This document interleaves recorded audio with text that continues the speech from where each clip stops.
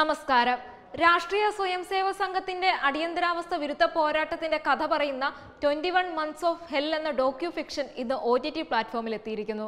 Limelight media എന്ന O T T പ്ലാറ്റ്ഫോമിലാണ് docu fiction release ചെയ്തിരിക്കുന്നത്.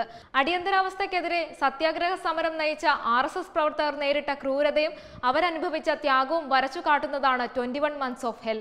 Arise media നെറ്റ്വർക്കിന്റെ ബാനറിൽ യദു വിജയകൃഷ്ണൻ പരമേശ്വരനാണ് ഡോക്യു ഫിക്ഷന്റെ സംവിധാനം നിർവഹിച്ചിരിക്കുന്നത്. ഡോക്യുമെന്ററിക്ക് സെൻസർ ബോർഡ് ആദ്യം അനുമതി നിഷേധിച്ചത് വിവാദമായിരുന്നു. അടിയന്തരാവസ്ഥയിൽ നടന്ന പീഡനമുറകൾ ഡോക്യുമെന്ററിയിൽ ചിത്രീകരിച്ചിരുന്നു. എന്നാൽ ഇതിനു തെളിവില്ലെന്നായിരുന്നു സെൻസർ ബോർഡിന്റെ നിലപാട്. പ്രശ്നമുള്ള ഭാഗം കട്ട് ചെയ്യാനുണ്ടെങ്കിൽ അത് പറയാൻ സംവിധായകനായ യദു വിജയകൃഷ്ണൻ അഭ്യർത്ഥിച്ചിരുന്നെങ്കിലും സെൻസർ ബോർഡ് സമ്മതിച്ചില്ല. തുടർന്ന് റിവൈസിംഗ് കമ്മിറ്റിക്ക് അയച്ചതിനു ശേഷമാണ് ഡോക്യുമെന്ററിക്ക് അനുമതി ലഭിച്ചത്.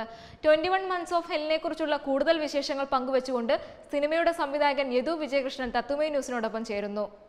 അടിയന്തരാവസ്ഥ കാലത്ത് ജനാധിപത്യവാദികൾക്കെതിരെ കേന്ദ്ര സർക്കാർ ഇന്ദിരാഗാന്ധിയുടെ ഭരണത്തിലെ കേന്ദ്ര സർക്കാർ പ്രയോഗിച്ചിരുന്ന ക്രൂരമർദ്ദനങ്ങളും പീഡനങ്ങളുടെയും കഥയാണ് ഈ twenty one months of hell എന്ന documentary arise media network produce ചെയ്ത് ഞാൻ സംവിധാനം ചെയ്ത ഈ ഡോക്യുമെന്ററിയിൽ അന്ന് അന്നത്തെ ഈ പീഡനമുറകൾ അനുഭവിച്ച ആർ എസ് എസ് ജനസംഘ പ്രവർത്തകരുടെ നേരിട്ട് കണ്ട് അവരുടെ അനുഭവങ്ങൾ മനസ്സിലാക്കി അതിനെ ചിത്രീകരിക്കുകയും ആവിഷ്കരിക്കുകയും ചെയ്യുക ചെയ്ത ഒരു ഡോക്യുമെന്ററിയാണിത് എന്നാൽ ഇതിനെ അന്ന് അന്ന് രണ്ടായിരത്തി പതിനെട്ടിലെ സെൻസർ ബോർഡ് കേരളത്തിലെ റീജിയണൽ കമ്മിറ്റി ഇതിനെ തഴയാണ് ചെയ്തത്.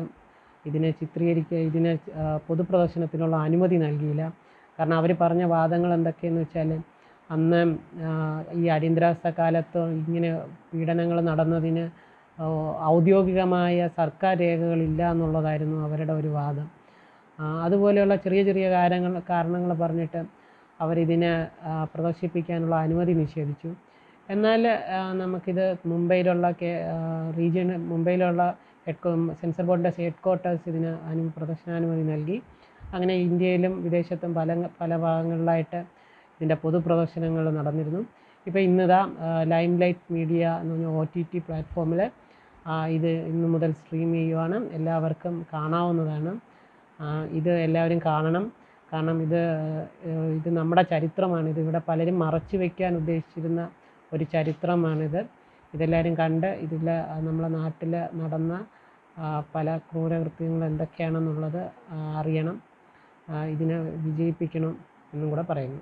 എന്തായാലും twenty one months of hell എന്ന ഈ സിനിമ അടിയന്തരാവസ്ഥ കാലത്ത് നടന്ന മനുഷ്യാവകാശ ലംഘനങ്ങളുടെയും പോലീസ് അതിക്രമങ്ങളുടെയും ഭരണകൂട ഭീകരതയുടെയും നടക്കുന്ന ഒരു പുനരാവിഷ്കരണമാണ്. വളരെയധികം നന്ദിയുണ്ട് യേതു വിജയകൃഷ്ണൻ. സിനിമയെക്കുറിച്ചുള്ള വിശേഷങ്ങൾ തത്വമേ ന്യൂസിനോട് പങ്കുവച്ചതിന്. എല്ലാവിധ ആശംസകളും നേരുന്നു. വെബ് ഡെസ്ക് തത്വമേ ന്യൂസ്.